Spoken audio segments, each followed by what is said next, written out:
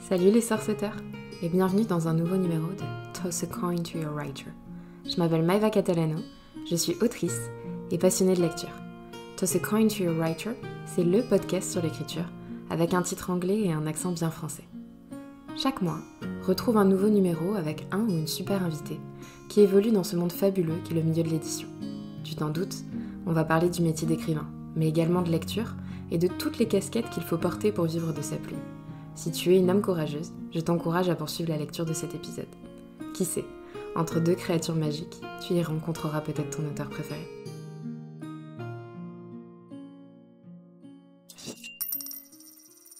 Salut, bienvenue dans ce dernier épisode de l'année 2021. Ça fait déjà 9 mois que j'ai lancé le podcast et j'arrive pas trop à y croire. J'ai le bonheur de clôturer cette année avec une invitée de choix, une autrice avec deux identités et complètement gaga de Noël j'ai nommé Lucie Castel, alias Oren Miller. On a pas mal discuté de polar et de feel good, d'humour british, d'anecdotes marrantes, de salons littéraires, de la guerre Star Wars, Star Trek, et de la peine de mort qui nous guette si on utilise les mauvaises décorations sur notre sapin. bonne fête et bonne écoute. Ah, donc bonjour Lucie. bonjour Est-ce que ça va déjà? Ça va très très bien. J'espère que ça va bien toi aussi. Ça va très bien, merci beaucoup. merci d'avoir accepté l'invitation euh, pour, euh, pour Avec répondre plaisir. à aujourd'hui. Est-ce que tu pourrais Avec te plaisir. En, en quelques mots peut-être pour les personnes qui ne te connaissent pas encore? Alors, pour les personnes qui ne me connaissent pas et qui vont me découvrir, et je les en remercie, donc euh, je m'appelle Lucie Castel et euh, je, euh, je suis autrice depuis environ une dizaine d'années et j'écris sous deux noms, Lucie Castel et Oren Miller. Sous Oren Miller, j'écris des polars, de la SF, de la fantasy et sous Lucie Castel, j'écris plutôt des comédies et des récits de, de blanches. Euh, même si c'est pas vraiment un genre, bref, des récits de, de vie, dans moult éditions, maisons d'édition, en France et aussi à l'étranger. Et depuis deux ans, j'ai cofondé l'Institut des carrières littéraires, qui est un organisme de formation à destination des jeunes auteurs qui souhaitent se professionnaliser et acquérir bah, les bonnes méthodes d'écriture et les bons outils pour pouvoir faire carrière dans, un milieu un petit peu compliqué qui cultive un peu le, culte du silence et du mystère. Voilà, en deux mots. en deux mots, effectivement. On sent le, pitch bien travaillé, euh, moult fois répété euh, pour la formation. Et ce que j'aime beaucoup, c'est que tu as la même intonation que sur le podcast. Donc c'est trop génial. c'est surtout, euh, je, je, pense, le podcast, ouais. Oui. Est-ce que tu pourrais commencer par nous parler En fait, on va parler un petit peu de lecture au début avant de, de venir à, l'écriture. Donc, comment euh, t'es venue un petit peu cette euh, passion de la lecture? Est-ce que tu as la littérature t'a toujours plu? Ou est-ce que c'est venu sur le tard? Alors non, moi j'ai lu très jeune parce que j'avais une maman qui était très grande lectrice. Euh, elle a démarré, elle, elle était vraiment passionnée de d'histoire. Alors j'ai commencé un peu par des, euh, des, des, des, livres romancés sur des faits historiques, etc. Et puis euh, j'ai eu la chance à une époque où on est en plein développement et, et en pleine découverte et où on cherche un peu des supports d'imagination, de rencontrer une une fille qui est devenue à l'époque ma meilleure amie, comme on peut avoir des meilleurs amis quand on a 13 ans, et qui adorait, qui était vraiment passionnée de lecture. Et en fait, on s'entraînait et on et on se disait ah tiens j'ai commencé ce livre lis-le en même temps que moi pour qu'on puisse euh, en discuter etc donc euh, voilà je dirais que mon gros pic euh, de découverte de, de, de la lecture c'est vraiment aux alentours de 12 ans 12 13 ans. Et j'ai tout de suite démarré avec de, de la littérature pour pour adultes hein, j'ai pas du tout fait la collection verte voilà. Et les, les premiers romans que j'ai découverts euh, c'était euh, euh, Dumas avec le Comte de Monte Cristo qui m'a beaucoup beaucoup marqué. Et puis Ronen donc qui est une, un auteur anglais qui explique pourquoi est-ce que j'ai une plume plutôt anglaise plutôt anglo-saxonne que française d'ailleurs. Je pense que c'est venu de là. Donc j'ai commencé par, par, par ça. Et très vite je crois à l'âge de 14 ans j'ai découvert Dickens. Et alors là ça a été ça a été l'histoire d'amour euh, non démentie euh, de, depuis. Euh, donc, donc voilà. Alors moi, je suis pas régulière dans la lecture. Hein. Je, peux être très compulsive pendant quelques mois et puis pendant plusieurs semaines ne pas lire. Mais, mais en tout cas, du fait en plus de mon métier, je j'ai pas cessé de lire depuis. Ok, d'accord, très bien. Comme tu disais tout à l'heure, tu écris dans bah, deux euh, genres opposés, enfin deux principaux entre la romance, le feel-good, la blanche et le polar. Euh, donc est-ce que c'est ce que tu lis euh, au quotidien ou au contraire tu vas t'évader dans des, dans des genres totalement différents? Alors euh, moi je, je suis euh, très euh, j'adore découvrir des, des, des, genres au-delà du fait que maintenant par le biais de, de, de, de, mon institut de formation je suis obligée de lire tous les genres mais bien avant je, je, pense qu'il n'y a pas de, de, de, genres différents il y a juste des histoires différentes. Donc avant de, de m'intéresser à l'histoire des genres littéraires et comment est-ce qu'on les définit j'allais un peu vers n'importe quelles histoires. Clairement j'ai quand même une petite préférence pour euh, les polars. J'adore les polars et plus particulièrement les houdonites. Hein. Moi, j'ai très vite découvert euh, Agatha Christie, hein, donc euh, voilà, clairement. mais j'aime bien aussi les, thrillers. J'aime un peu tout. Du moment que j'ai un, une connexion qui se fait avec la plume de, de, de l'auteur et la façon dont il campe ses personnages et son intrigue, je lis vraiment de tout et j'aime bien découvrir des genres vers lesquels je ne serais pas forcément allée. par exemple, le post-apocalypse c'est pas vraiment mon genre de prédilection. La romance, c'est pas trop mon genre de prédilection, mais euh, si j'ai quelqu'un que je, dont je connais les goûts qui me le recommande, euh, j'irai très volontiers. Donc alors vraiment, moi je lis, euh, je lis tous les genres, hein, vraiment. D'accord, ok. Donc tu as cité quelques auteurs avant, mais j'allais juste te demander si tu avais des auteurs de, prédilection, des, auteurs où dès que tu as le, un nouveau livre, tu sais que tu n'as pas besoin de lire la, bah, la crème de couverture, tu y vas les yeux fermés. Alors euh, Dickens, le problème c'est que euh, bon, on n'aura plus de, on n'aura plus de nouveaux livres, hein, sauf. Je pense euh, que ça va être compliqué. non, ça va être compliqué, ça va être compliqué. On n'a pas encore fait assez de progrès sur l'intelligence artificielle pour donc pour transférer notre conscience. mais sinon, en auteur donc toujours vivant qui peut continuer de nous produire des choses. Alors, je dirais Gaiman. Euh, du coup, lui, il pourrait euh, sortir euh, sa liste de courses, je la lirais, c'est certain. je dirais aussi, alors, pas toutes ses sorties. Autant Gaiman, c'est presque systématique. autant Stephen King, je, je, suis, je suis admirative de, de la carrière de, de de la carrière de, de l'auteur et de, de j'ai eu des très gros coups de cœur pour ses pour ses romans dans plutôt dans le début de sa, carrière. J'aime un peu moins ce qu'il fait euh, depuis quelques années, euh, donc j'espace un peu les lectures et j'en lis euh, un sur un sur deux ou un sur trois dans ses dans ses sorties. Mais par contre, la technicité me laisse toujours sans voix. Sa, technique est extraordinaire, sa technique de d'auteur est extraordinaire. Qu'est-ce que j'ai encore comme d'autres? Ah, j'en ai un si que que j'ai découvert très récemment et je vais encore écorcher son nom, mais je vais essayer de faire un effort. C'est Higashino qui est un auteur de polar euh, japonais qui est euh, là aussi qui a une technique narrative absolument extraordinaire. Euh, donc lui, j'aurais tendance à lire un peu tout ce qui tout ce qu'il fait. Bon, ça tombe bien, il ne sort que des polars, mais je crois en tout cas. Mais il me semble que c'est que des polars. voilà, lui, je, sors, enfin voilà, je lis à peu près tout ce qui tout ce qu'il écrit. Pour les plus importants, ceux auxquels je pense là maintenant, je dirais que c'est à peu près tout. Et pour ce qui est du reste, c'est vraiment selon mes envies et moi je marche beaucoup recommandations. Donc euh, comme je suis euh, entourée de grands lecteurs euh, et, du coup je suis toujours en train de leur demander c'est un peu mes dealers je suis un peu toujours en leur demander c'est quoi ton coup de cœur dernièrement qu'est-ce que tu as lu qu'est-ce que tu as voilà. Donc Ok, très bien, très bien. Alors avant de continuer de parler de tes propres livres, euh, sur le podcast, je fais toujours un petit jeu qui s'appelle euh, l'interview Inception. Donc c'est une interview dans l'interview et on a une minute pour répondre euh, au plus possible de questions au tac au tac. Est-ce que ça te tente? Oui, ok. Très bien. Allez, c'est parti. Je vais dire des conneries, mais c'est Il n'y a pas de pression.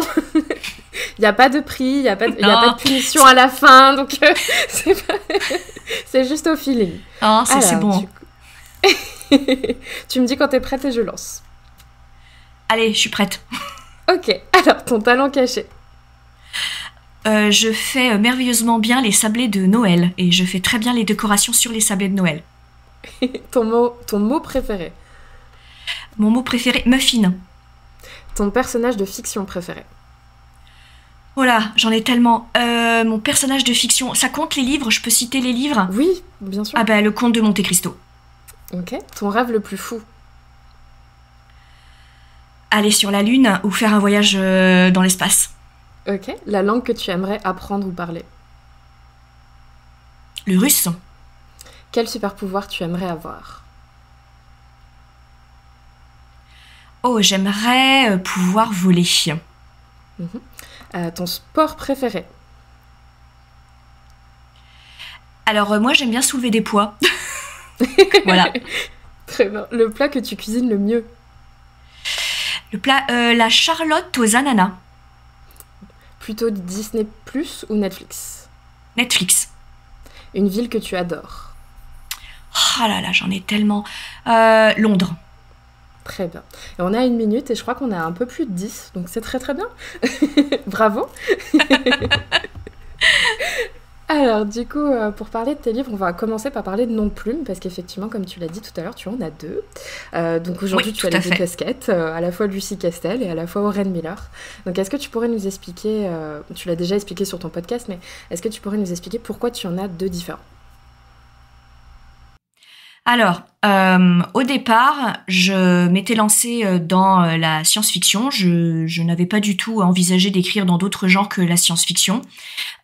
Et à l'époque, je travaillais pour le ministère des Finances et je tenais à ce que du coup je puisse cloisonner, surtout que je, faisais de la formation, donc je formais à peu près 2000 personnes par, an et je, voulais éviter que les deux carrières se mélangent. Donc c'est la raison pour laquelle j'ai pris un premier nom de plume. J'ai pris celui-là parce que c'était un clin d'œil à deux à deux, choses auxquelles je voulais rendre hommage.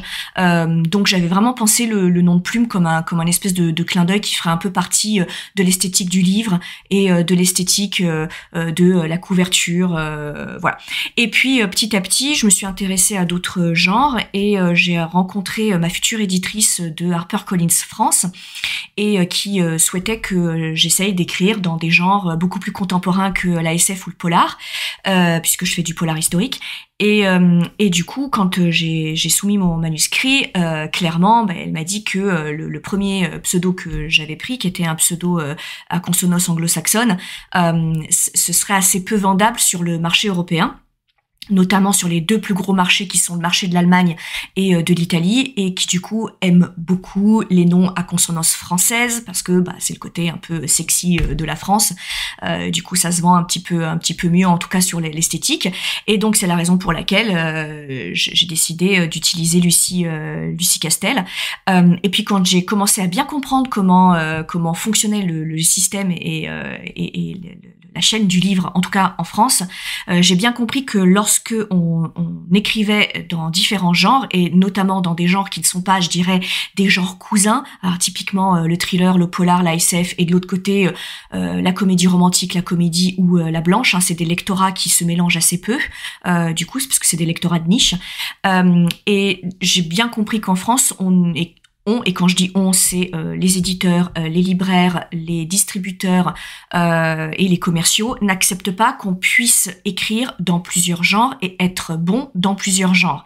Ils ont une, un a priori qui est que soit on est auteur de polar, de thriller, de blanche, soit on est auteur de romance, de SF ou d'heroic fantasy mais ils ont du mal à, comprendre le fait qu'on est auteur tout court et que notre job, c'est d'écrire des histoires, peu importe le genre. Ça, le genre, c'est des questions de marketing euh, et, et, parce qu'on a inventé des, des, des, des, cases marketing et puis on, a surtout analysé des, schémas, euh, des motifs narratifs récurrents euh, qu'on appelle aussi un peu des tropes hein, et qui du, du, coup nous ont fait trouver différents genres, mais ils, ils, ont du mal à comprendre qu'au départ, nous, en tant qu'auteurs, on écrit surtout des histoires.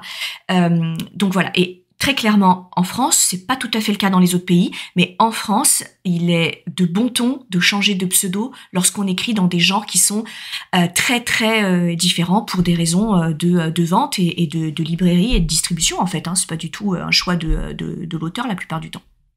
Mhm, très bien. Euh, justement, comme tu écris dans deux pôles euh, bah, relativement différents quand même, voire opposés, euh, je voulais savoir ce qui t'a tiré le plus dans l'un ou dans l'autre. Est-ce qu'il y a des univers qui, te portent plus que d'autres? Alors, mes deux genres de prédilection, même si j'ai écrit de la fantasy et de la SF, mais mes deux genres de prédilection, c'est vraiment le polar et plus précisément le whodunit donc euh, le roman à énigme, et euh, de l'autre côté les parcours de vie. Alors soit euh, le parcours de vie beaucoup plus léger et ce sera du feel good, soit des parcours de vie un peu plus lourds qui abordent des thèmes un peu plus lourds et ce sera une littérature plutôt blanche et, féminine. Hein, c'est axé autour des parcours de, de femmes avec un message engagé et féministe. alors très clairement, ce qui m'attire dans le, polar, les polars d'ailleurs, c'est la technicité de la narration. c'est extrêmement Enfin, c'est une narration extrêmement technique parce que euh, au-delà du choix des personnages, du travail autour, euh, du mystère, etc. En réalité, on écrit un houdonite, euh, donc un polar à énigme, un peu comme on écrirait une symphonie. C'est-à-dire qu'il faut écrire plusieurs lignes d'histoire, chacune comprenant des indices avec un degré de fausseté puis un degré de, de, de vérité. Et donc c'est tout un jeu de pistes qu'on met en place avec le lecteur entre ce qu'on veut qu'il voit, ce qu'on veut qu'il trouve, ce qu'on veut qu'il ne trouve pas, euh, etc. Et donc c'est vraiment une toile d'araignée qu'on tisse, et ça, ça demande beaucoup de technicité. Et ça, on n'est vraiment pas du tout dans la spontanéité de l'émotion, on n'est pas du tout dans la euh, vraiment dans la spontanéité de la réplique, de la punchline. Alors bien sûr, on peut l'utiliser, c'est un peu mon fond de commerce, euh, c'est ces répliques un peu euh, un peu punchline, euh, mais on est beaucoup plus sur de la technique narrative. Au contraire, mais ça n'engage que moi, hein, mais pour ce qui est des littératures beaucoup plus axées sur des parcours de vie, sur des interactions de, personnages, euh, d'émotions, comme on peut le retrouver en feel good, en comédie romantique, en comédie ou euh, en blanche, même si c'est pas un genre, Là, il faut beaucoup plus travailler sur l'émotion et sur la connexion euh, entre le lecteur et les émotions que vont ressortir les personnages. Et là, ça demande une toute autre euh, technicité qui est un peu plus dans l'énergie, un peu plus dans le, un peu plus dans l'émotion, un peu plus dans la mise en scène, je pense. Donc, pour moi, est un genre beaucoup plus spontané où euh, ce qui est mis en avant c'est pas la structure narrative pour arriver à un résultat mais c'est plutôt l'interaction des, euh, des, des, personnages et donc leur mécanisme psychologique. Donc c'est à mon sens deux façons d'aborder euh, la narration qui, qui, sont vraiment complètement différentes même si bien sûr les genres sont poreux hein, et que on, peut introduire dans, dans tel ou tel genre des, des techniques d'autres genres et heureusement d'ailleurs. Oui très bien et euh, alors, tu l'as dit tout à l'heure euh, par rapport à tes inspirations, et je me rappelle avoir lu euh, sur le site d'un de tes éditeurs que tu avais un humour assez britannique pour une auteure bien française. et c'est vrai que quand on sait que tu es à la fois Aurène Miller et Lucie Castel, et qu'on lit tes romans, on retrouve cette patte et cet humour un peu acide, on va dire, ou caustique. et c'est un peu une, on va dire, une ligne en fait qui lit tout. Mais je voulais savoir comment tu t'organises pour sauter d'un genre à un autre en fait, parce que est-ce que c'est une phase est-ce qu'il y a une année, tu vas écrire que du polar, euh, puis l'autre, tu écris que du feel good? Comment ça se passe? Alors euh, maintenant que je suis sous contrat avec euh, avec plusieurs maisons d'édition, j'ai des calendriers éditoriaux à respecter. Donc je, signe des contrats. Donc en fait maintenant je je, je, suis un peu obligée entre guillemets parce que c'est moi qui le choisis et puis c'est moi qui signe mes mes, mes contrats de, de, de de voir par rapport à une année euh, ce que je vais décider euh, d'écrire ou, euh, ou pas. Donc je dirais que j'essaye d'alterner parce que mais ça me vraiment c'est une façon de voir les choses tout à fait personnelle. si j'écris dans le même genre plusieurs romans d'affilée, moi j'ai l'impression que je je n'ai pas assez de recul pour proposer des choses un peu différentes aux, aux lecteurs et j'ai un peu peur de d'écrire toujours le même roman. Alors on est d'accord que je, suis euh, de l'avis euh, de certains auteurs qui disent qu'un un auteur écrit un peu toujours le même roman. Je pense que c'est vrai, je pense qu'on est obsédé par certains thèmes et, ces thèmes nous obsèdent tellement qu'ils euh, du coup se, ils, se voient, ils se sentent dans toutes les histoires. Hein. Il, y a, des choses qui reviennent de façon récurrente, c'est ce qui fait la, la particularité d'un auteur par rapport à un autre. Mais j'essaie quand même de, de proposer une attaque un peu différente. Et pour moi, je trouve que c'est plus facile lorsque je, je, change de, j'alterne les genres. Donc j'essaye d'alterner euh, polar et euh, et euh, roman un peu plus axé sur les personnages, sur les les parcours de vie. Alors ça c'est en théorie. Maintenant il y a la pratique éditoriale et qui fait que parfois, c'est une bonne chose, hein, mais parfois on doit signer des gros contrats parce que parce que les contrats se présentent et qu'on va pas leur dire ah bah non on vous prend pas parce que ben parce que parce que j'ai plutôt envie d'écrire un polar et voilà donc là typiquement je sais que 2022 va plutôt être consacré à à la littérature blanche, euh, à des parcours de vie et, à du feel good euh, que euh, des polars. mais pour des raisons de, signature de contrat en fait et d'opportunités professionnelles. Mais si je peux, j'essaie d'alterner. Ok, très bien, très bien. Comme tu as les deux casquettes, je voulais savoir comment ça se passe en salon. Est-ce que c'est très différent d'être en salon en tant qu'Oren Miller et en tant que Lucie Castel? Est-ce que tu as des anecdotes? Est-ce que parfois tu fais les deux à la fois dans un même week-end? Comment ça se passe? Alors oui, je fais les deux à la fois dans un même week-end parce que comme je ne fais pas énormément de salons, euh, donc je fais des salons qui sont assez importants, donc la plupart de mes éditeurs français sont présents dans ces euh, salons. Donc du coup, je, groupe et je fais plusieurs séances de dédicaces sous euh, mes deux mes deux noms plumes.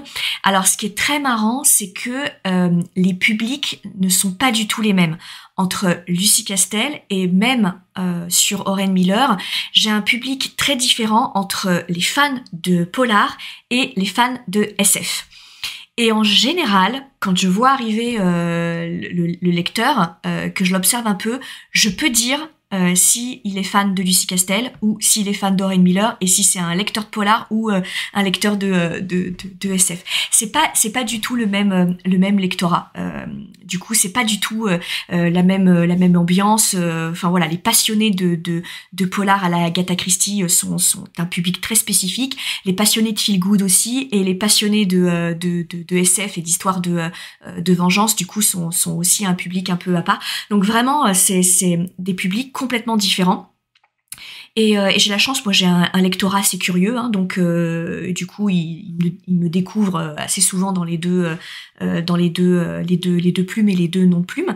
Mais par contre, en anecdote marrante, j'avais eu une grosse séance de dédicace Oren Miller, donc j'écris des polars qui sont quand même assez trash, euh, du coup, qui sont assez, euh, sont pas très gentils, du coup, avec des intrigues plutôt gore, euh, clairement. je fais du corpse art, hein, donc euh, voilà, hein, on n'est pas là pour enfiler des perles. Et, et, et à l'inverse, mes premières sorties sous Lucie Castel étaient des feel good. Alors vraiment des, des, bonbons de Noël, des, des, choses très mignonnes, très choupinettes, etc. Bref. Et je, je, sortais de à peu près trois heures de dédicace sous Ren Miller où je fais des, des dédicaces plutôt très cyniques et avec un humour assez noir voire trash, euh, parce que bah, c'est ce qu'il trouve dans le, dans le roman, donc euh, voilà. Hein. Et par contre, évidemment, quand euh, je suis sous Lucie Castel, en plus là, je dédicassais mon premier, c'était une comédie romantique de Noël, donc alors vraiment un bonbon, c'était de la, de la guimauve de Noël, hein, c'est la comédie romantique de Noël, ça peut pas être plus guimauve que, que ça. Et donc j'arrive, je me précipite parce que j'étais en retard, il y avait une longue file d'attente et en face de moi, je me souviendrai toujours, je la donne toujours cette anecdote parce que c'était une toute jeune fille mais tellement choupinette, mais vraiment avec des boucles blondes, des grands yeux bleus. Elle devait avoir peut-être 18 ans, je pense, à peine, mais, mais adorable, une, poupée, mais une poupée. Et euh, j'arrive, je me précipite, euh, désolée euh, d'avoir quelques minutes de retard, je, je, je, lui prends le, le, livre des mains, et, et alors elle me dit qu'elle adore les histoires de romantiques de Noël, que ça la fait rêver, qu'elle ne lit que ça, que, que, qu'elle aime les histoires qui sont jolies, qui sont romantiques, etc. Bon, bref, elle m'explique tout ça. Et moi, dans la foulée, je lui balance une phrase absolument horrible, donc vraiment un humour trash qui cite des cadavres sanguinolents, machin, vraiment que, que je venais de faire depuis, euh, depuis trois heures, et là je signe Oren Miller. Et là je lève les yeux et je vois cette petite poupée toute mignonne, toute choupinette, mais qui était tellement contente d'avoir ma signature. Oh et là je me dis putain, qu'est-ce que je vais faire? Mais qu'est-ce que je vais faire? Et HarperCollins, c'est une grosse machinerie, donc euh, on peut pas euh, attraper euh, une éditrice en disant changer de bouquin, je, je, le, je, le, je, le, prends moi. Bon bref, il y avait un monde fou. Donc du coup, je me confonds en excuses et comme je par ailleurs je, je, suis dessinatrice, donc je lui ai tapissé, mais vraiment tapissé le, le roman de, de, de, fleurs, de, de j'ai vraiment transformé tout ça, j'ai gribouillé sur la dédicace. Elle était toute contente parce que je crois que je lui ai gribouillé 15 pages euh, du, du, du, roman en lui faisant des, des mais vraiment des, des voilà des petits nounours, j'ai des, j'ai dessiné des petites fleurs, j'ai dessiné des petits lapins, j'ai dessiné partout en m'excusant. Bon bref, ça m'a pris 20 euh, minutes, mais voilà, elle est repartie, elle était toute contente et je lui ai dit surtout, surtout, ne lis pas, ne lis jamais la dédicace. Regarde, Regarde que les dessins, Donc voilà. Donc oui, des fois ça se, voilà, j'ai du mal à faire le switch. oui, du coup c'est, je peux comprendre le cerveau après trois heures. c'est ça. Très, très bien.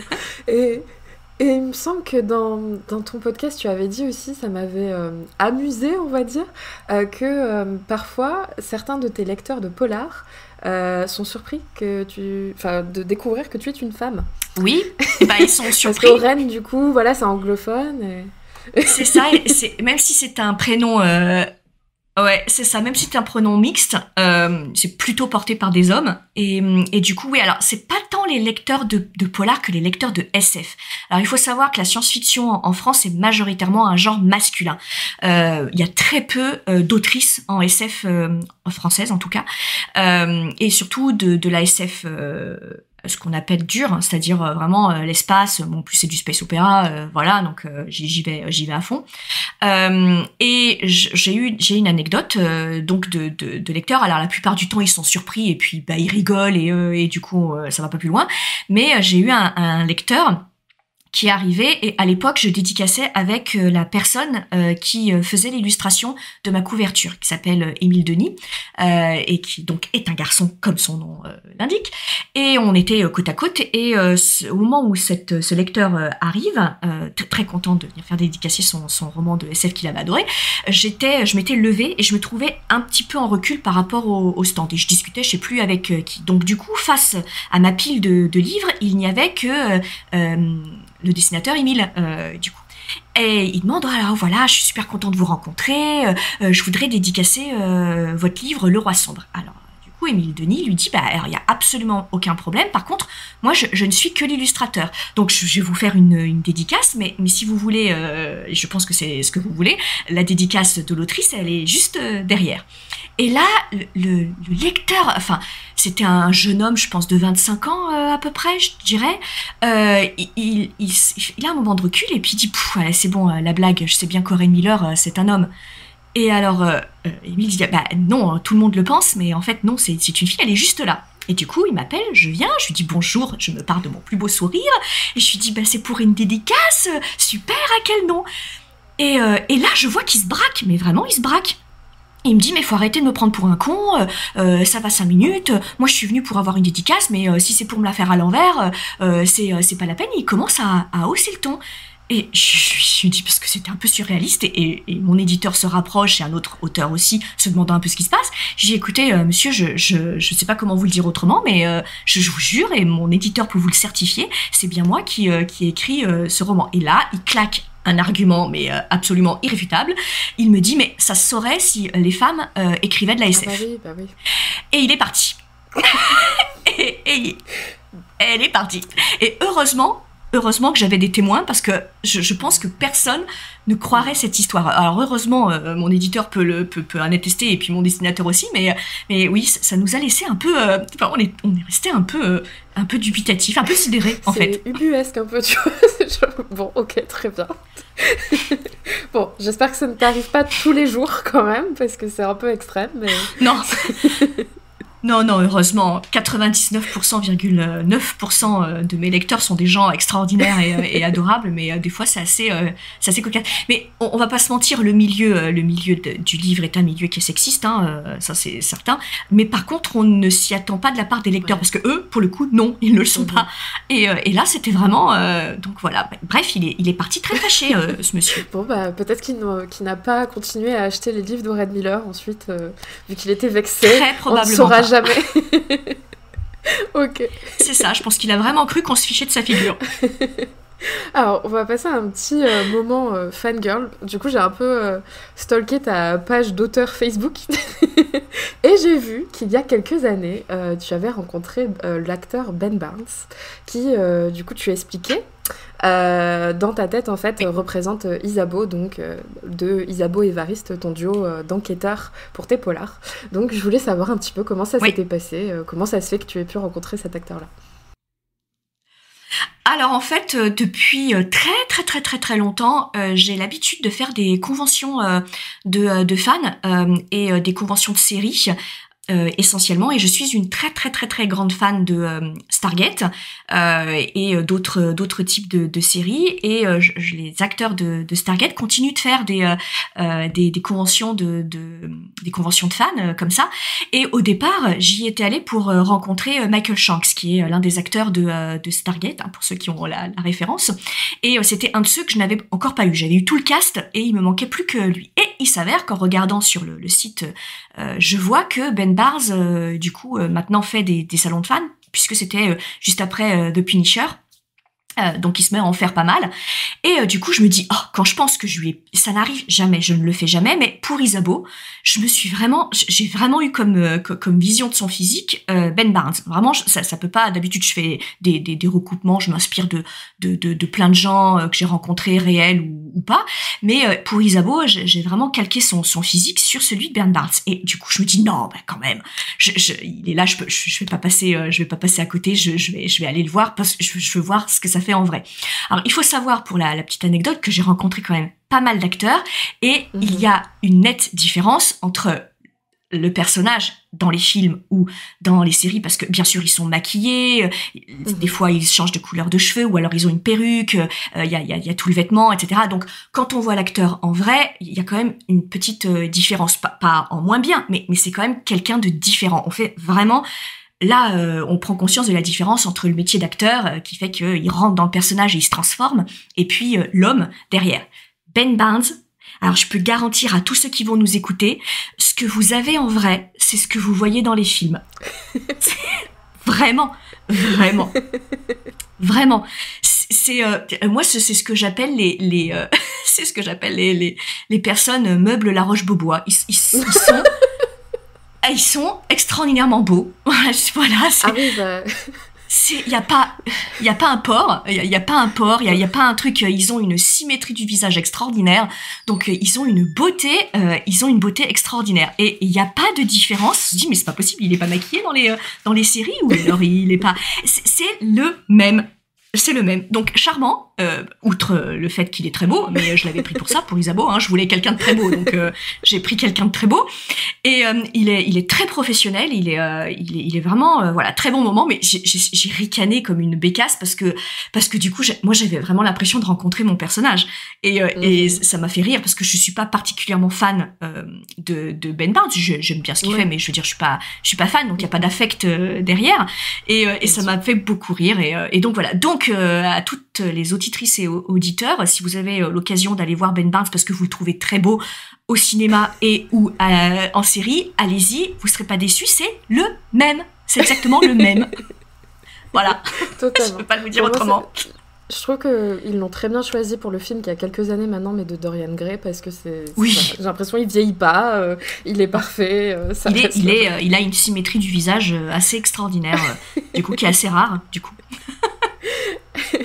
Alors, je suis très contente que tu parles de, Stargate parce que sur ta newsletter, bon, tu en parles dans le podcast, mais aussi en newsletter, tu parles souvent, tu fais beaucoup de, références à Stargate, à Star Wars, à Star Trek.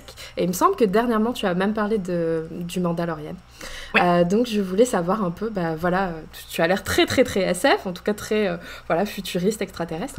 Euh, est-ce que c'est un univers qui t'inspire particulièrement? Est-ce que tu aimerais vraiment creuser de ce côté-là, côté écriture? Alors, euh, étonnamment, j'ai pris beaucoup de plaisir à, écrire euh, mon, roman de SF, euh, mais parce que c'était le thème qui me plaisait, pas tant parce que c'était de la SF. donc, en fait, je ne suis pas, je, n'aime pas particulièrement écrire dans, de la SF. Par contre, je, remarque que mes, séries ou mes films qui ont été pour moi les plus les plus impactants dans ma vie sont des films et des séries de, de SF. Alors que euh, on poserait la question, je citerai pas le genre SF comme mon genre de prédilection parce que au contraire, je, lis très peu de SF. Je suis assez peu lectrice de SF parce que je, je m'emmerde assez facilement dans la SF. C'est comme je, ne suis pas très grande lectrice d'heroic fantasy parce que j'ai du mal à rentrer dans, les romans d'heroic fantasy. Euh, donc voilà, je ne saurais pas l'expliquer, mais c'est vrai que mes, grandes série, euh, ben, je pense aussi parce que euh, j'ai découvert l'univers des séries avec Star Trek. Moi, je suis une Trekkie. Donc je, je, regardais avec ma maman à l'époque, hein, parce que c'est une série quand même un peu ancienne. Donc du coup, j'étais toute petite et ma mère était une très grande fan. Donc je pense que le fait d'avoir démarré euh, ma culture euh, ciné et euh, série TV avec Star Trek, ça m'a vraiment formaté. Et du coup, je pense que c'est resté. Et mon deuxième grand coup de cœur, ça a été Babylon 5, qui est elle aussi une série de space opéra qui. Mais je pense que ce qui me plaît dans ces séries, c'est que ce sont des, euh, des séries extraordinairement bien écrites. Le space opéra, c'est euh, ni plus ni moins de l'heroic fantasy, mais dans un futur très très très très très très lointain. Et l'heroic fantasy, c'est euh, on bâtit des mondes, on bâtit voilà, c'est c'est c'est des dynasties, c'est des complots politiques. Moi, j'ai je, je, suis une grande passionnée d'histoire des civilisations, donc voilà, c'est quelque chose. Les, les, constructions d'empires et les chutes d'empires, voilà, évidemment, j'ai lu tous les Asimov. donc, du coup, je pense que c'est ça qui m'a qui, m'a qui, m'a marqué euh, plus que le genre SF. Je pense que c'est ces séries-là qui m'ont marqué et qui sont restées euh, euh, ancrées. Et donc voilà, tout ça pour dire que je suis une Trekkie et pas une fan de Star Wars, mais ma meilleure amie est une, énorme fan de Star Wars. Alors c'est notre grand trip. Donc je l'ai je l'ai initiée à Star Trek et elle m'a initiée à Star Wars que je regarde uniquement pour me moquer d'elle c'est une raison. Tu regardes au moins, voilà. Mais euh, je regarde assidûment. Et j'ai vraiment aimé euh, certaines séries de, euh, de, Star Wars, donc du coup, voilà. Je suis bien obligée de le reconnaître. ok, très bien. c'est vrai que tu es une autrice du coup très prolifique, on l'a vu, comme tu publies dans, dans, plusieurs genres. Mais je voulais savoir s'il y avait peut-être un livre qui a plus d'importance pour toi, qui a été peut-être plus difficile à écrire, ou au contraire sur lequel tu t'es complètement éclaté.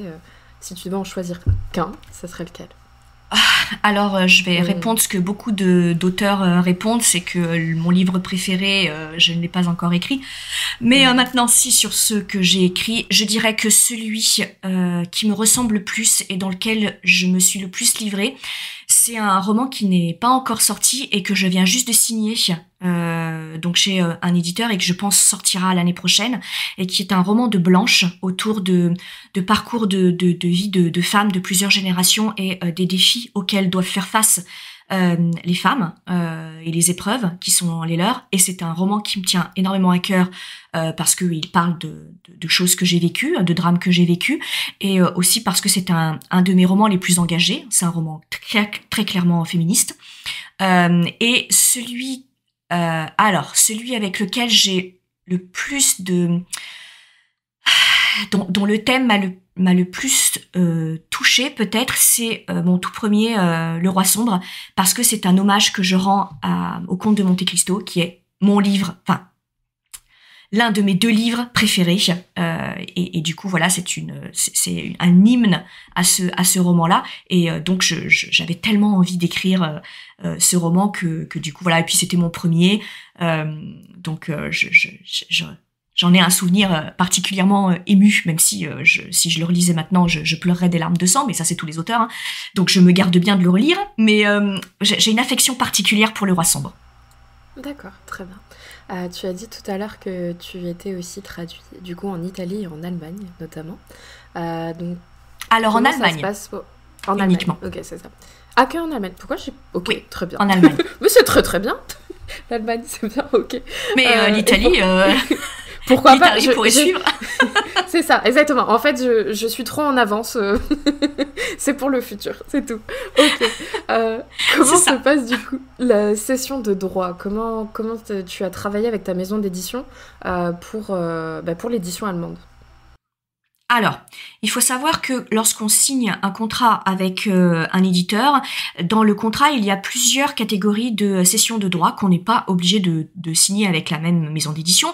Mais bon, bref, lorsque on signe tout euh, le forfait avec un éditeur, il y a à l'intérieur des, droits que l'on cède euh, les droits à l'étranger et les droits audiovisuels et donc audiovisuel. Avec HarperCollins France sur euh, les romans que j'avais écrits euh, pour euh, pour eux, j'avais signé la totalité de de mes droits. Alors il faut savoir que du coup, à partir de là, nous on n'a plus du tout la main sur la façon dont ils négocient avec les éditeurs étrangers. Puisqu'on a cédé le droit à l'éditeur de négocier en notre nom les droits de notre livre, on n'a absolument pas notre mot à dire. Donc euh, du coup, bah, ils se débrouillent euh, entre eux, ils passent par des, des agents de liaison, si je peux les appeler comme ça, et qui sont censés lire dans la langue, bah, là en l'occurrence en français, et qui du coup font la traduction après au niveau de, des éditeurs étrangers en disant bah voilà, je sais que vous recherchez tel genre de, de roman, moi j'ai lu un roman en français qui est vraiment top, je vous le pitch, et donc voilà, et si jamais ça, ça, se signe après, bah, ils font traduire le, roman, etc. Donc euh, nous, on n'a absolument pas la main sur cette euh, négociation. Alors moi, il faut savoir que je, depuis quelques années, je fonctionne un peu différemment euh, de la plupart des auteurs, même si ça commence à se démocratiser, c'est que je fonctionne avec un agent littéraire. Et donc, depuis que j'ai un agent littéraire, je lui passe la commande et je lui dis voilà, pour ce roman-là, je décide de céder à l'éditeur les droits étrangers et les droits audiovisuels, ou au contraire, moi je préfère les garder et je te confie à toi, agent littéraire, la mission d'aller euh, démarcher euh, euh, les éditeurs et les producteurs, évidemment, c'est c'est la même chose. Donc, du coup, voilà, tout ça pour dire que si on, cède ses droits à une maison d'édition, c'est elle qui reprend la main avec des gens qui connaissent bien les marchés européens et les marchés étrangers. Et euh, nous, on est juste prévenus, euh, bah voilà, on vient de céder tes, euh, droits, donc ça sortira à telle, à telle date. Et, voilà, et nous, on perçoit évidemment un pourcentage sur la cession de droits à l'étranger et sur les droits d'auteur, bien sûr. D'accord, ok, très bien. Alors on va venir à un sujet que je sais que tu adores et je pèse mes mots, qui est Noël. Non, c'est pas du tout une obsession Non, du tout. Ça se voit pas du tout sur ton Instagram que, que c'est un mode de vie. Non, tout à fait, c'est un mode de vie, c'est ça. Euh, tu t'es euh, récemment, enfin l'année dernière, essayé à l'auto-édition pour euh, une comédie romantique de Noël. Cette année, elle ressort du coup chez Charleston. Donc je voulais savoir un petit peu bah, comment ça s'était passé. Voilà, quelle était ton expérience du côté de l'édition indépendante et comment ça se fait du coup que tu es reparti du côté de l'édition traditionnelle ensuite? Alors moi, je, en tout cas, c'est ce qu'on enseigne euh, à l'ICAR. Moi, je, milite euh, énormément pour l'hybridation des, euh, des auteurs. L'auto-édition est un parcours qui est complètement parallèle au parcours en maison d'édition traditionnelle et qui apporte quelque chose de radicalement différent des maisons d'édition traditionnelles. Et je trouve du coup que les deux parcours se complètent vraiment bien. C'est-à-dire qu'en gros, ce qu'on trouve dans l'auto-édition, on ne peut pas le trouver en maison d'édition, et ce qu'on trouve en maison d'édition, on ne peut pas le trouver en auto-édition.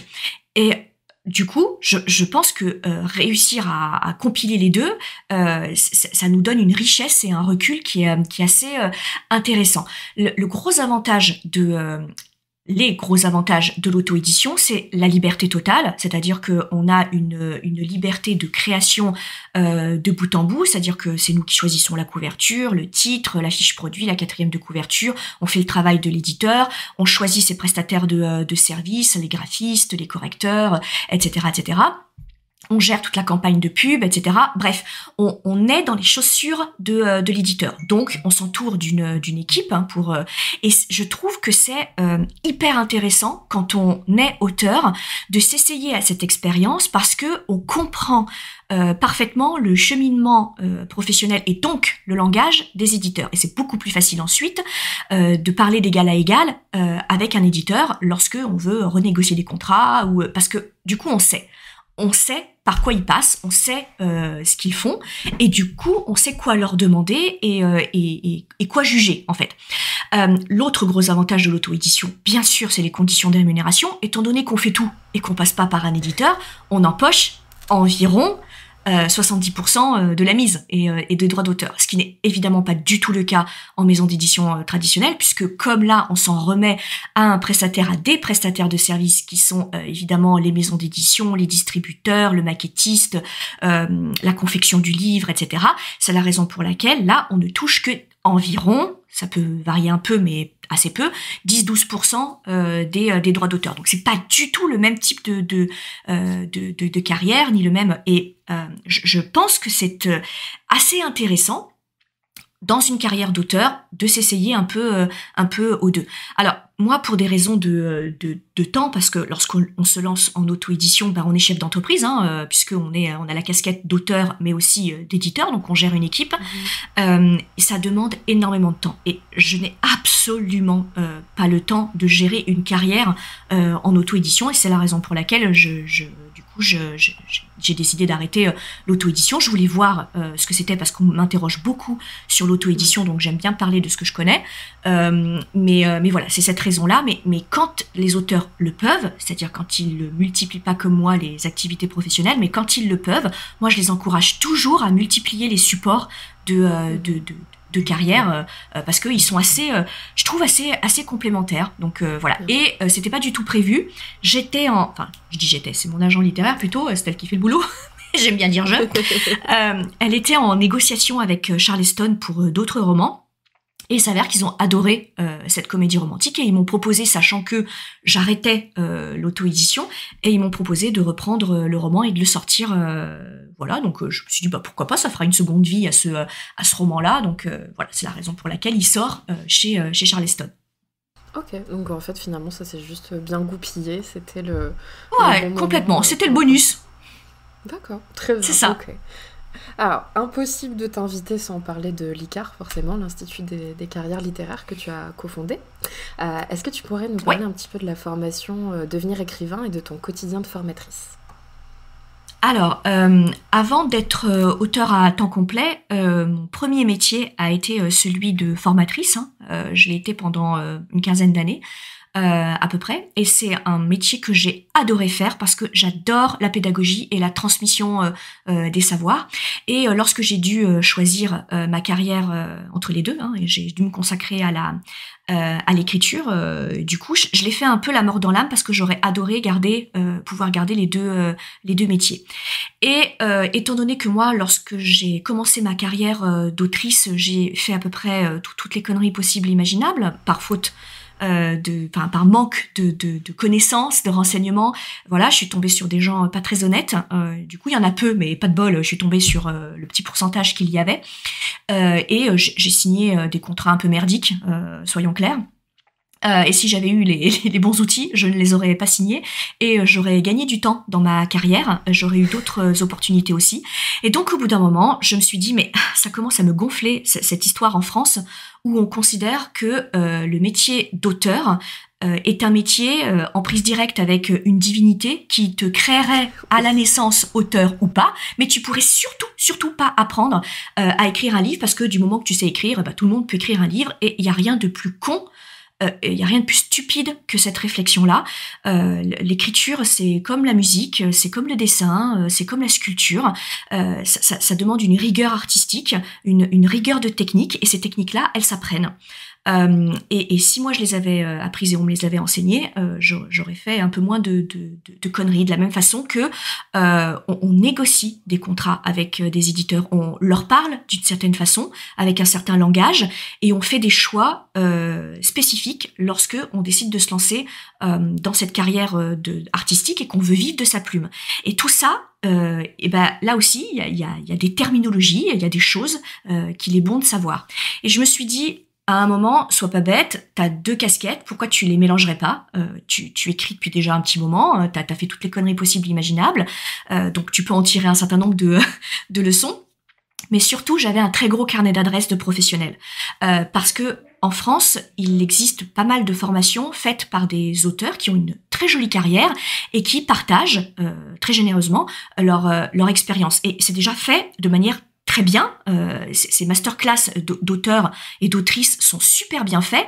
Euh, donc c'était pas la peine que j'en rajoute euh, moi. Par contre, ce qui n'existe pas, alors euh, c'est en train de se développer, mais ce qui n'existait pas il y a deux ans, c'est une formation faite avec des professionnels, éditeurs, correcteurs, euh, agents littéraires, auteurs, etc. Donc tous les tous les représentants euh, des corps de métier de la chaîne du livre à rassembler autour d'une même formation et qui travaillent euh, en direct, parce que la formation est en direct sur huit semaines, euh, où on accompagne le projet littéraire d'un auteur depuis son idée jusque à la soumission de son dossier, de son synopsis et de son manuscrit à une maison d'édition. Et donc, euh, devenir écrivain, c'est une formation sur huit semaines qui est pratico-pratique parce que euh, on va parler des, des, des, projets littéraires et on fait travailler euh, les auteurs sur leur roman, quel que soit le, le genre. Il y a une cinquantaine d'heures de, de, vidéos, il y a une méthode d'écriture avec des outils clés en main, il y a à peu près une vingtaine d'heures d'ateliers d'écriture pas à pas en sous-groupe, il y a des corrections d'exercices pour amener les, les, les, les auteurs à structurer leur roman, à comprendre la mécanisme et le professionnalisme de, euh, de l'écriture, etc. Euh, il y a euh, comment rédiger un synopsis, etc., etc. Et c'est sur huit semaines avec un suivi après sur deux mois parce qu'on leur analyse leur dossier de soumission lorsqu'ils sont prêts. Et, et donc voilà, j'ai eu la chance d'être rejointe très vite par des, des, des, éditeurs, des auteurs avec une carrière extraordinaire qui travaillent dans très très grandes maisons d'édition, qui ont trouvé l'idée géniale et qui ont décidé de rejoindre l'aventure. On est une dizaine de formateurs là en ce moment et on a trois sessions, euh, trois sessions de formation euh, par an. Donc là, on est en train de terminer, c'est la dernière semaine, on est en train de terminer euh, cette session-là, et la prochaine s'ouvrira en, février. Et ça fait maintenant un petit peu moins de deux ans qu'on fonctionne, et on commence à avoir déjà des résultats et des auteurs qui sortent de chez nous, qui sont numéro un des ventes, qui ont eu des prix littéraires. On est très très très très fiers, qui ont gagné, qui ont remporté des prix, qui, qui fonctionnent très bien. donc du coup, on est très contents. Mais c'est super, oui, j'ai vu sur euh, la newsletter que vous partagiez les nouvelles sorties, euh, que ce soit en auto-édition ou en édition euh, traditionnelle. Et oui. je trouve ça tellement bien de voir, bah, c'est concret, quoi, de, voilà, de, de, le point de départ jusqu'à bah, l'accomplissement du rêve de certaines personnes. Donc c'est Très, Tout à fait. Ah, c'est très enrichissant. Et puis, on rencontre aussi des professionnels parce que maintenant qu'on commence à, être un peu connu, euh, spontanément, des auteurs et des éditeurs toquent à notre porte pour pouvoir euh, devenir formateurs parce que bah ils trouvent que ce qu'on fait c'est cool et, eux ils n'ont pas la, possibilité dans leur quotidien de parler de leur métier et d'aider des auteurs hein, puisque eux ils travaillent avec des auteurs qu'ils ont déjà signés mais pas pas des auteurs en devenir et, du coup notre notre équipe elle grossit de session en session avec des, profils professionnels vraiment euh, incroyables, incroyables. Mhm. Très bien. Et c'est vrai que, bon, voilà, vous avez la formation, euh, vous avez également le podcast, donc euh, de manière bah, quasi hebdomadaire. Oui. vous faites des épisodes avec des conseils, des analyses, ce genre de choses. mais est-ce que tu aurais peut-être deux ou trois conseils basiques aux nouveaux auteurs, si ce n'est rejoindre la formation, devenir écrivain? Donc, qu'est-ce que tu dirais à des personnes qui veulent se lancer? Alors le premier conseil, je milite pas forcément pour ma formation, euh, n'importe laquelle, euh, vraiment, mais et ça, ça, ça a l'air d'être euh, parce que je suis formatrice, etc., et que moi je suis une très grosse consommatrice de, de, de formation, hein, j'en bouffe énormément, j'adore apprendre, mais vraiment le premier conseil, c'est de se former. Alors Évidemment, on prêche pour notre paroisse parce que parce que nous on croit en ce qu'on fait, mais peu importe n'importe quelle autre formation et Dieu merci, de plus en plus euh, de, professionnels en France, il était temps, parce qu'aux États-Unis, en Angleterre, dans les autres pays, ils n'ont pas de problème à, livrer des formations euh, à l'écriture, hein, euh, mais, mais, de plus en plus de professionnels se lancent dans, des, dans des formations à l'écriture. Vraiment, la, la base, c'est de se former. C'est une erreur de, de, débutant qui peut coûter très cher que de croire qu'il suffit d'écrire une histoire qu'on a dans la tête au fil de l'eau et ça va passer. Soumettre un manuscrit, que ce soit du côté des éditions traditionnelles ou euh, se lancer en auto-édition, c'est un contexte extrêmement concurrentiel avec des gens qui savent ce qu'ils font. Euh, donc quand on y va, on n'y va pas en amateur. Et c'est comme lorsque euh, on soumet sa candidature à l'emploi de ses rêves, on se prépare. Et se préparer en tant qu'auteur, c'est savoir euh, maîtriser une narration, savoir maîtriser euh, le genre dans lequel on écrit, savoir maîtriser un suspense, une structure narrative. Et ça, ça s'apprend. Donc vraiment, le premier conseil, c'est d'y aller armé, donc de se former et de savoir ce qu'on signe, ce qu'on veut signer, ce qu'on accepte de signer et ce qu'on ne veut pas accepter de, de, de, de signer. Ça, c'est mon premier conseil. Très important. Mon deuxième conseil, c'est euh, de résumer ça dans cet adage. Euh, un auteur qui réussit, c'est un auteur qui n'abandonne pas. Euh, il faut bien comprendre que une carrière d'auteur, euh, c'est en dents de scie. Et on peut avoir euh, un premier roman qui est un best-seller, euh, qui nous tombe dessus, voilà, hein, parce que le, le, le best-seller, si on avait la technique, on l'aurait breveté et on serait milliardaire, hein, clairement. Donc il y a une notion d'alignement des étoiles hein, qui fait qu'à un moment c'est un best-seller ou pas. Ça c'est sûr. Du coup, mais, ce qui est sûr, c'est que on peut faire un best-seller et le bouquin suivant faire un flop, ou faire trois quatre flops d'affilée et puis le cinquième c'est un best-seller. On peut se faire refouler par une quinzaine, une vingtaine de maisons d'édition trois quatre fois de suite et la cinquième fois choper un éditeur et faire un carton.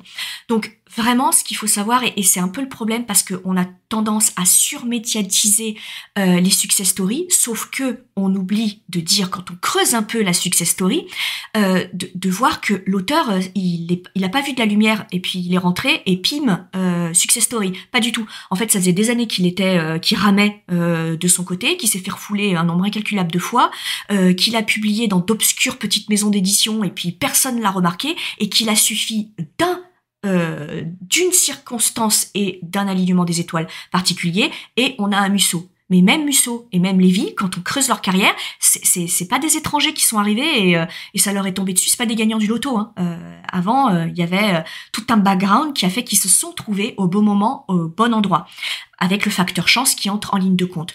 Donc vraiment, il faut pas croire que euh, c'est parce qu'on a des échecs et on voilà. Mais par contre, il faut tirer des enseignements de ces échecs. Et le troisième euh, conseil que je donnerais, c'est à plusieurs on est plus fort. Euh, il faut vraiment, vraiment en terminer avec cette croyance que les auteurs sont en concurrence les uns avec les autres. Pas du tout. Les lectorats, le lecteur, il s'additionne, il s'exclut pas. Donc il faut vraiment rompre sa solitude derrière euh, euh, derrière son, écran, arrêter de se comparer avec euh, les autres auteurs en disant oh là là, mais ça y est, lui vient de, de publier, il a l'air de marcher, pourquoi est-ce que moi j'y arrive pas, mais j'y arriverai jamais, etc. Là c'est des pensées très toxiques qu'on a tous eu à un moment, mais plutôt de se dire ok, lui, elle a signé, j'en fais une source d'inspiration. Si lui ou elle peut signer, moi aussi je peux signer. C'est juste que je ne lâche rien. Donc ça, c'est, je pense, moi, les trois conseils que j'aurais aimé recevoir et qui auraient changé euh, euh, ma carrière, euh, enfin le début de ma carrière. Je me plains pas maintenant, mais bien sûr, hein, mais je, qui, qui auraient changé le début de ma carrière, c'est certain. D'accord, très bien.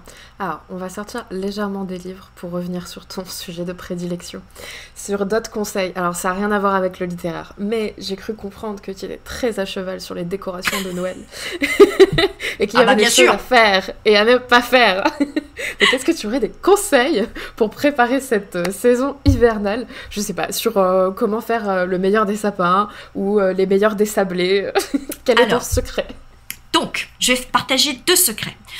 Premier secret, c'est la, c'est la décoration. En fait, le secret d'une ambiance de Noël réussie, c'est la cohérence, euh, la cohérence des ambiances. En matière d'imagerie de Noël et d'esthétique euh, de Noël, on a des grandes tendances. Euh, alors les grandes tendances, on a le Noël traditionnel. Le Noël traditionnel, c'est rouge, vert, or. Euh, on a le Noël nordique. Alors là, c'est toutes les décorations à base de bois, de, de, de, de, de, feuilles, de feuilles séchées, de feuilles de houx, etc. on a le, le Noël graphique qui généralement est noir, argent, très très graphique, et on a le Noël baroque et qui lui est plutôt sur du blanc, sur de l'or et des petites touches de, euh, de noir.